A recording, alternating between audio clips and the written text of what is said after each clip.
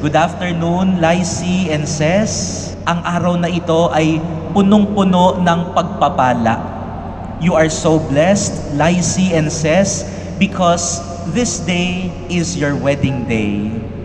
And I would like to point out three blessings that you will receive today in this uh, in your wedding day. The first blessing that you will receive is the blessing to be married here in the Manila Cathedral.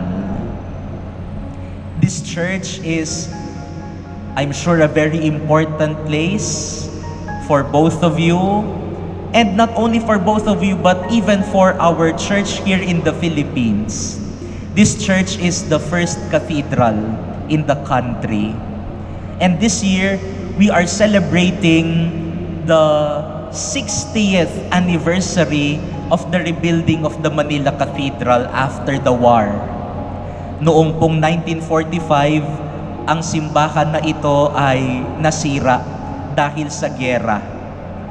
But in 1958, they rebuilt the Manila Cathedral. So this year is the 60th anniversary of the rebuilding. But interestingly, just last year, an old couple approached us here. They were the first couple to be married here after the war in 1958. So together with the Manila Cathedral, they are celebrating their 60th anniversary. Nakakatuwa sapagkat nung nag-celebrate sila ng anniversary, parehas na silang naka-wheelchair, no? At nagprosesyon sila, no? Nang pinutulak na sila ng kanilang mga apo. But we are all very happy to see this couple, the first couple to be married here after the war, after the rebuilding. And until now, they still love each other. They still look at each other with love after 60 years. Lycy at Ses, hindi ko alam kung after 60 years ay ganyan pa rin ka-fit ang mga itsura ninyo. No?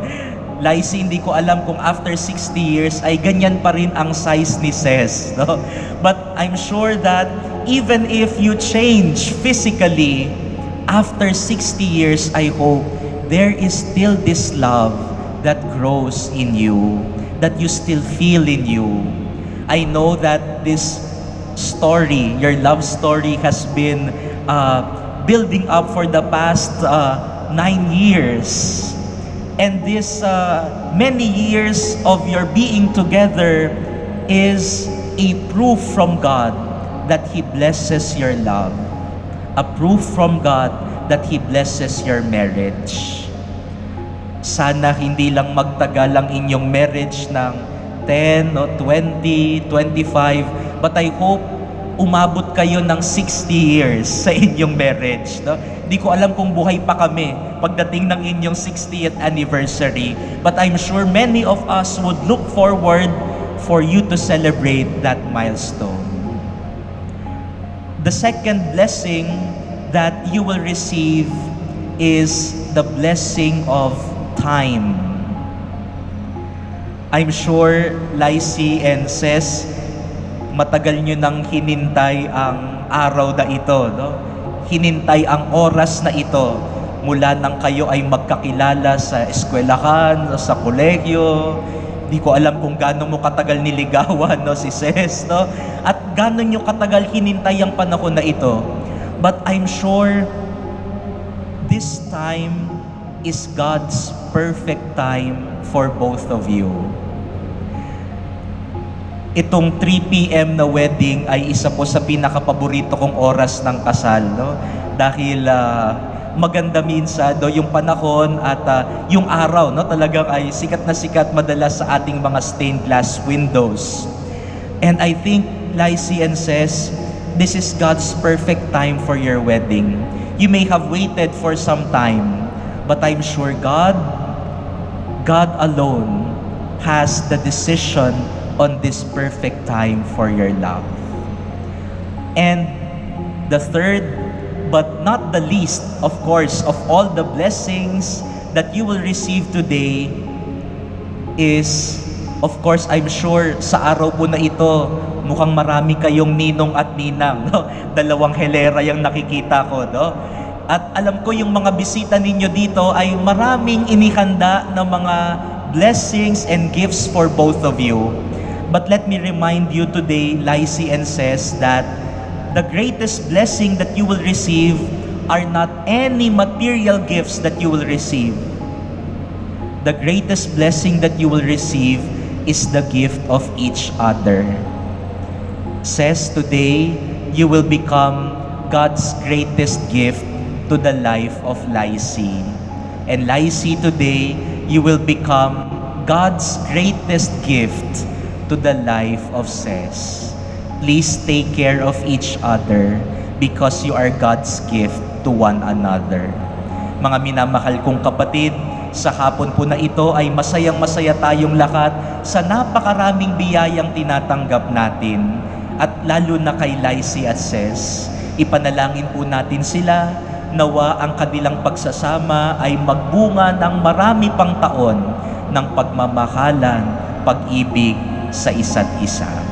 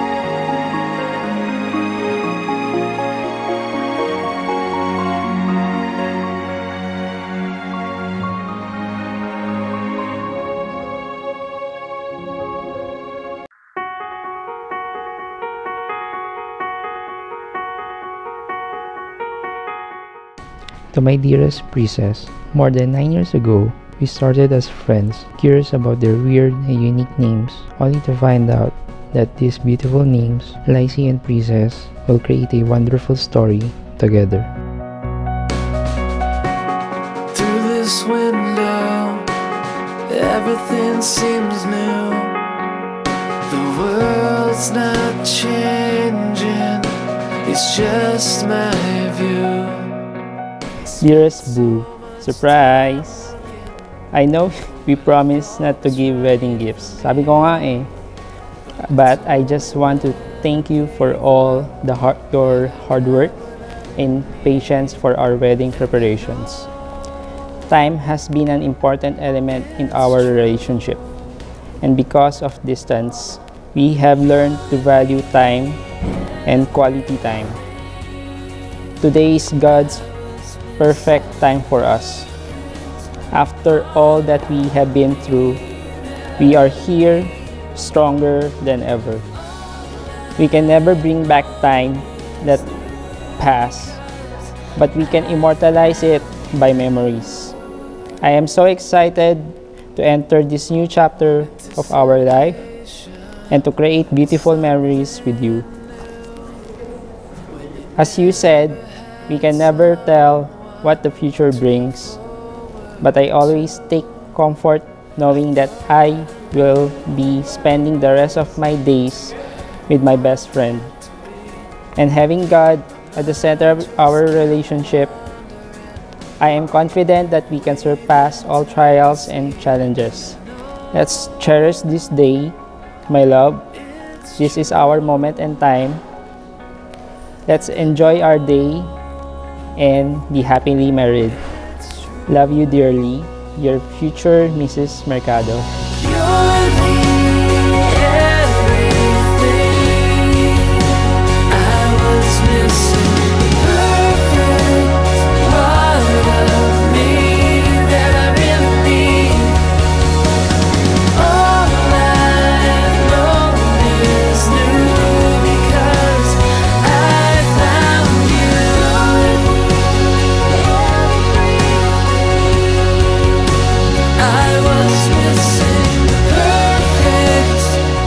We managed to build a strong foundation as best friends, plan a bright future, and enter into a romantic relationship. All our ups and downs, achievements and failures, happy and angry moments, and successes and challenges made us a strong and lovely couple. Now, in front of our families and friends, with God as our witness, will vow an eternal promise to be your patient, kind, handsome, and loving husband, and your forever boo. I love you.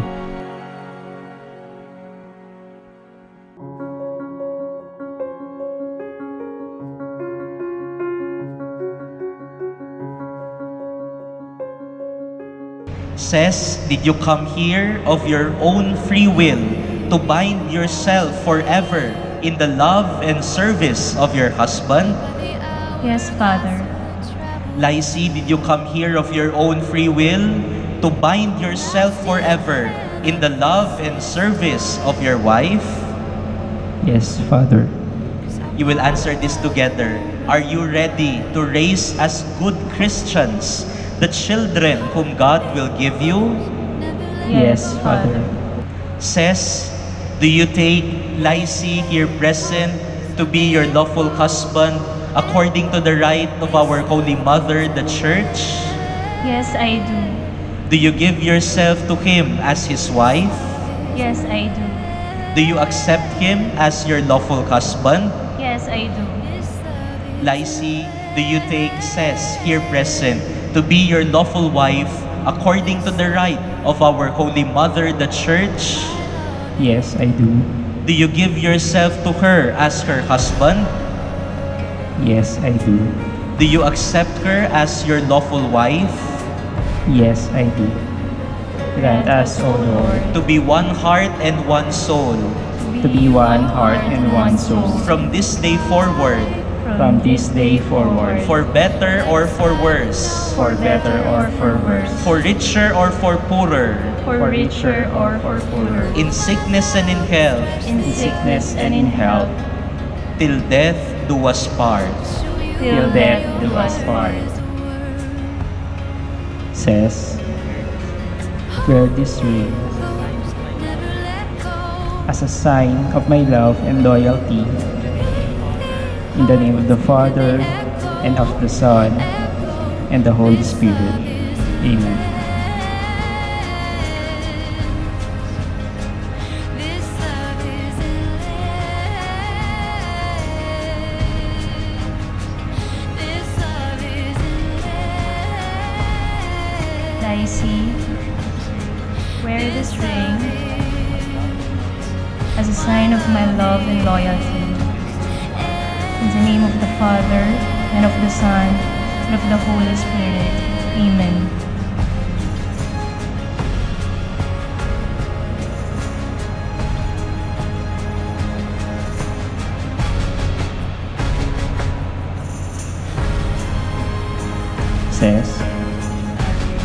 Give you this array as a pledge by dedication to your welfare. In the name of the Father, and of the Son, and the Holy Spirit. Amen. And I accept them.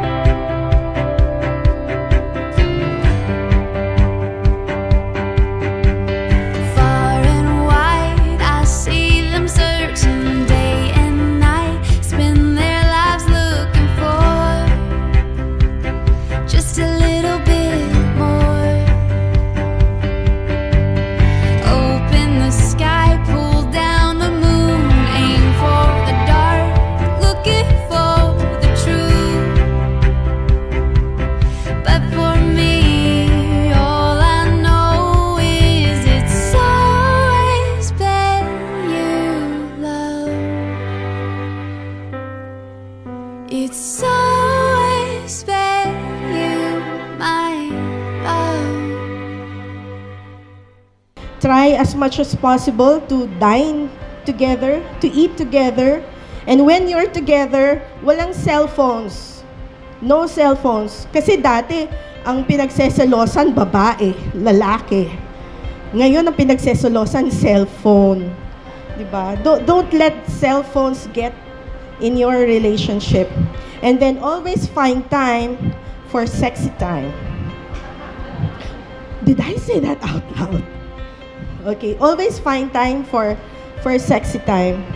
And uh, syempre, tatanda kayo, uh, mababawasan ng hair, mag increase ng pounds, but still try to find nice words to say to one another. Inspire one another and make each other know that you appreciate what they are doing. Okay, and pray together, pray for one another. And most of all, ang favorite ko, to forgive every day. Forgive always. Kahit na minsan, inis na inis na inis na inis ka na. Gusto mo nang sakalin. Gusto mo nang takpan ng unan pag natutulog. But still, still, forgive each other always because it is only during that time that you would realize, you would remember why you have loved this person, why you got married to this person, and why you will stay married to this person the rest of your life. So, rest assured that with me and your Nino, you will always have someone to, to talk to. There will always be someone who is praying for you by name. So I love you so much and God bless you both. Lysie and Cess, who have been together for a long time, will continue to live what God has planned for them. Your marriage signifies God's will for your life. It's not humanly easy, and that's for sure. I'm also married, so medyo um, struggling din. No, all marriage may mga struggles din yan. Pero worth it naman. That's why we still turn to God for help and support. Because that's how we are made for. For His glory and fulfillment of His purpose. And Lysie, don't forget, please, don't forget to say these two words to Cess. Yes, dear but with a loving heart. Hindi yung yes dear. Hindi, eh, hindi ganun. Okay?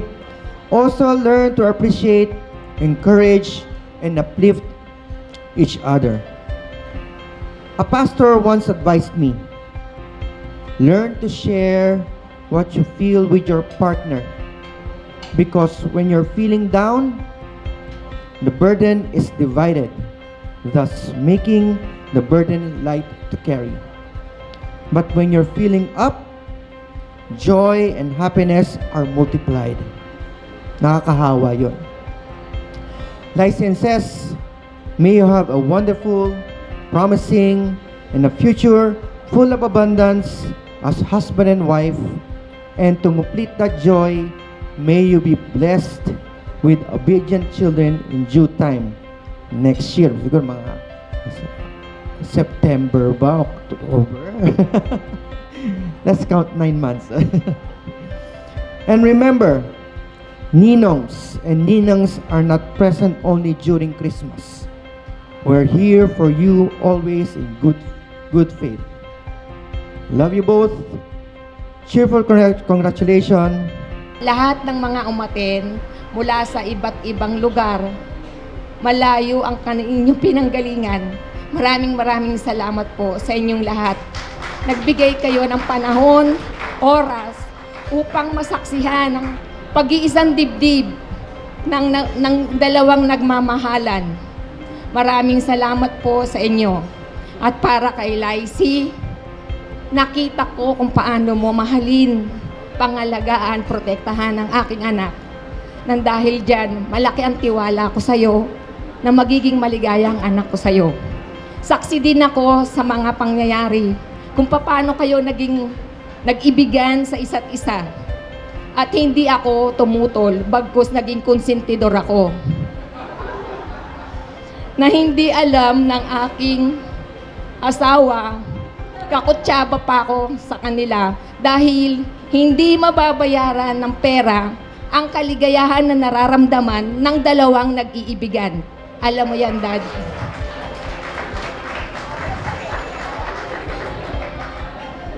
At bilang pagkukonsinte, sila'y nagtagumpay sa tulong ng Panginoon. Salamat din sa aking mahal na asawa at nabigyan ako ng tatlong anak na ang panganay ko'y si Ses. Naging mabait, masunurin, at higit sa lahat, nagkaroon silang tatlo ng ambisyo'y puro aral, aral, aral. Ako ang maswerteng magulang na nagsasabing, Anak, itulog mo na yan. Anak, kumain naman kayo. Kumakain sila nang wala sa oras. Ang tulog nila, nasaksihan ko yan. Mukhang dalawang oras na lang yata sa magdamag. Dahil matutulog ako, alas 11 gising pa sila. Paggising ko, magsasaing ako sa madaling araw, gising pa rin. Samantalang ako, hirap na hirap ako mag-adjust kung paano sila pagsisilbihan. Maraming salamat, mahal kong asawa sa ating tatlong anak, na nagkaroon tayo ng kapwang mababait na mga anak. Maraming maraming salamat po sa tulong ng Panginoon. Kung mayroon man kayong magiging problema, dasal ang pinakamatinding sandata ang inyong gagamitin upang magtagumpay lalo sa inyong buhay. Mahal namin kayo. Lizzie, one more thing I'll say to you. I am not handling a perfect lady. Says is not that perfect. It is not easy for me to hand into you a perfect one. It is better for me to hand you the one that is imperfect so that you could give him the opportunity to prove to yourself that he could be a good lady for you. What is important, Lizzie, is that your relationship.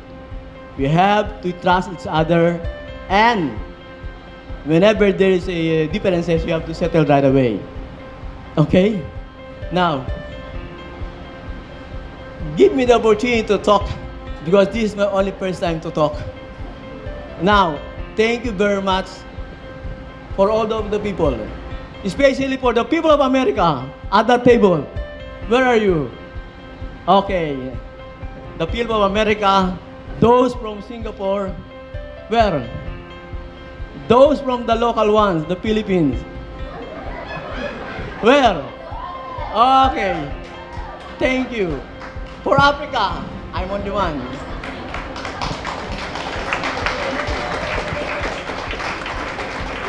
Okay. Give me the opportunity to talk because I want to talk more.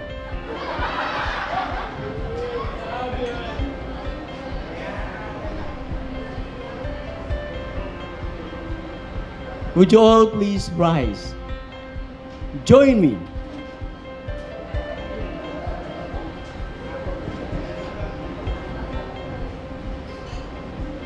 In the prayers of many thoughts, to wish the bride and the groom, says and Lizzie, a long and happy marriage life together.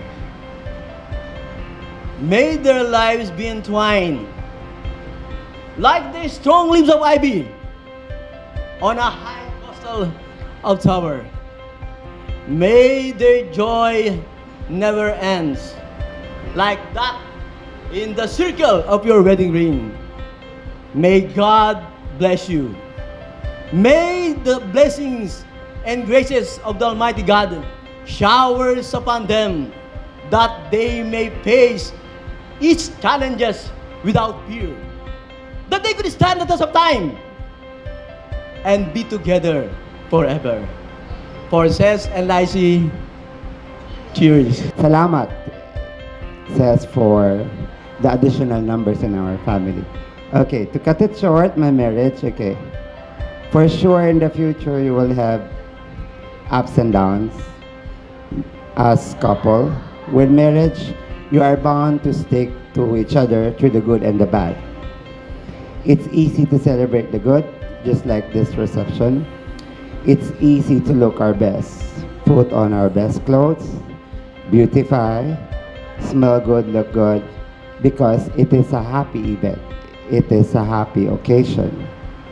But my personal wish for both of you is that through the times that you feel so ordinary, worst, irritated sa isa't isa, or there are some under- misunderstanding, I hope you find the exact instances to be an excuse to make extra effort to put your best foot forward again. Make that brave move to celebrate even or most during your failures, not just during success. Okay. With this one, you can reaffirm to one another that yes, I choose you. I am here for you. I love you both so much. Says, mahal na mahal ka namin. And Kuya, I'm so, so proud of who and what you become. Salamat po. Ako ay nagpapasalamat sa Panginoon Diyos sa, mga, sa binigay niyang pagkakataon na magkasama-sama tayo dito ngayon sa dahilang pag-iisang dibdib ni Ses at ni Lacey. Nagpapasalamat din ako sa inyong lahat, lalo-lalo na sa pamilya ni Ses na tinanggap nila si Lacey na buong buo. At sa pagmamahal ni Ses sa anak ko na si Lacey, alam namin na magsasama sila ng maayos at alam din ni Ses na hindi namin sila pababayaan.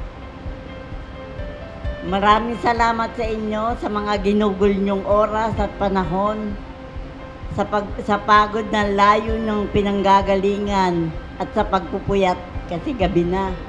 Nandito pa tayo sa labas. Nagpapakasaya. Kaya ah, maraming maraming salamat sa inyo. Sa inyong dalawa, ang maipapayo ko lang, ilagay niyo si Lord sa gitna ng inyong pagsasama. Walang ibang makakatulong sa inyo, kundi ang Panginoon. Kailangan, sis, palagi mo yayayain si Lysing magsimba. Huwag mong kakalimutan linggo-linggo. Kahit ayaw niya, pipilitin mo. Kasi madalas, pag napupuyat o napapagod, sasabihin mamaya na lang. Ikaw ang dapat magila sa kanya. Kahit saan, basta pagsisimba, kailangan isasama mo. Maraming maraming salamat po sa inyo. At nairaos na natin ng maayos ang pag-iisang dibdib nilang dalawa na masaya at masagana. Alam kong masigla tayong lahat sa kanilang pagsisikap na mairaos itong okasyon na ito. Salamat po at magandang gabi. Best friend po ako ni Ces since high school. We've been we've known each other for 18 years. And ayun, ganun katagal, 'di ba? So parang wag na sila mag-compute. um, sa lahat ng close friends ni Ces, um, alam nila kung gaano ka ka um. As in, to the final details. As in, lahat talaga sobrang ganun ka, ka, like ka-keen with details. As in, ganun ka ka-hands-on. Especially dito sa wedding nyo.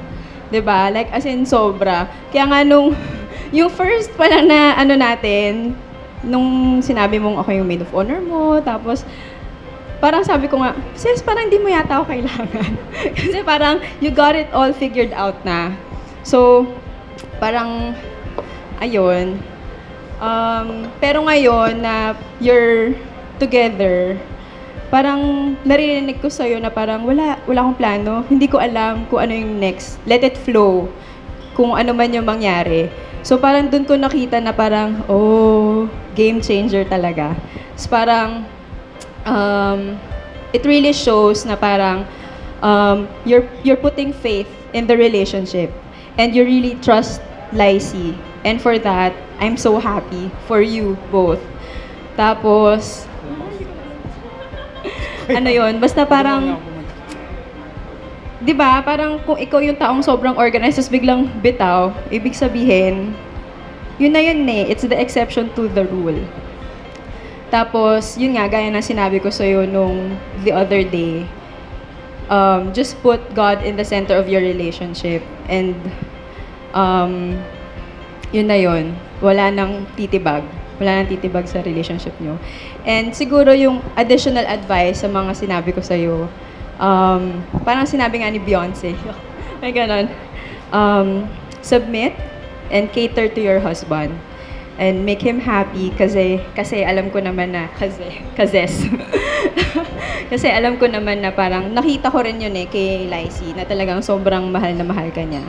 And ganun ka rin naman sa kanya. And I'm so happy that you found each other 'di ba yun lang I love you girl and welcome to the married life ko alam kasi ayun hindi congrats and um, excited na ako makakita ng mga mini sis and mini Lacey.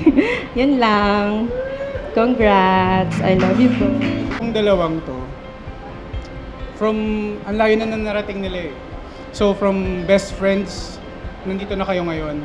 So parang sobrang nan, nandito na kayo. Then, etong dalawang to, ito yung lodi ko pag LDR. Kasi parang, alam mo yun, ang hirap na LDR pero they make it look easy and they make it work. So, ang dami ko natutunan sa kanila, positive or away man, may napapapunta ng ibang bansa para doon, they make it work. So, kudos to you guys.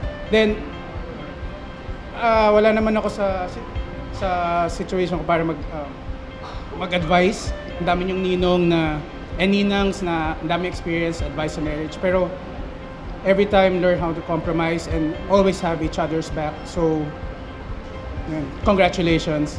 And uh, may invite everyone to uh, join me for a toast.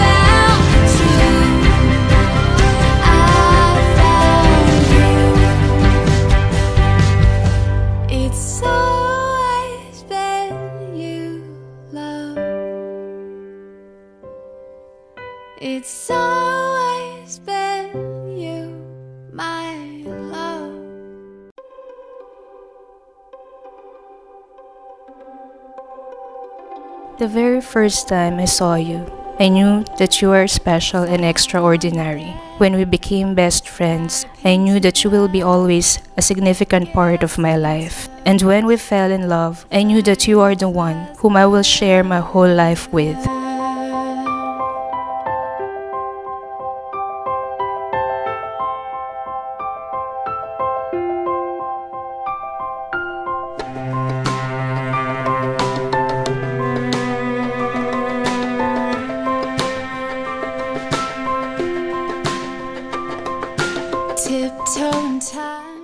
Years ago, we were just new, young lovers, dreaming and hoping for our future.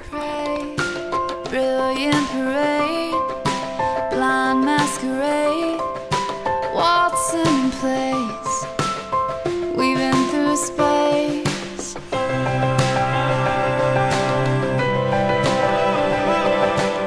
Today, as I look back, I realized that we've gone so far and accomplished so many things together and apart. Your love is generous that it has given me wings to fly. Profound that it allowed me to be the best version of myself. Selfless that it always catches me every time I fall. Having you in my life is one of the greatest blessings I had. And I always thank God for you and for binding us together, despite the trials, despite the distance that greatly challenged us. They say that to love and be loved are life's best gifts. The greatest for me is to be married to your best friend.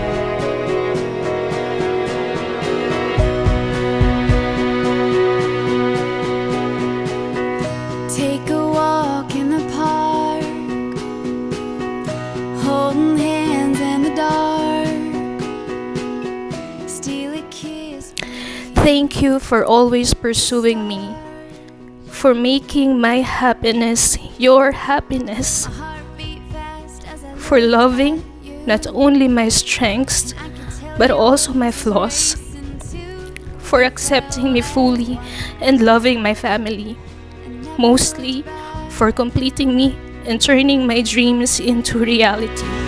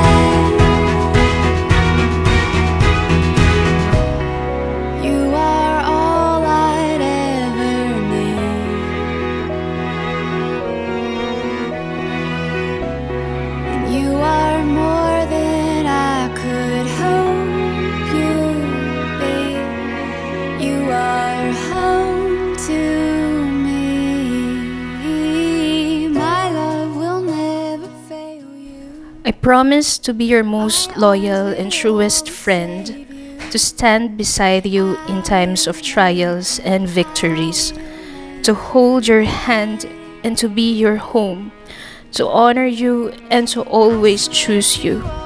From this day on, you will never be alone.